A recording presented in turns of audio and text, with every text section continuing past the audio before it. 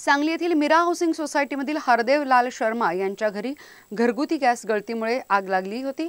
आग अग्निशमन दलाच्या वतीने आटोक्यात आणण्यात आली.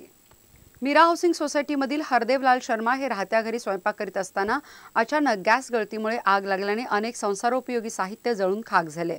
सदरची आग मुख्य अग्निशमक अधिकारी चिंतामणी कांबळे यांच्या मार्गदर्शनाखाली ड्रायव्हर विजय कांबळे फायरमन प्रसन्न पाटील रामचंद्र चव्हाण यांनी आटोक्यात आणली.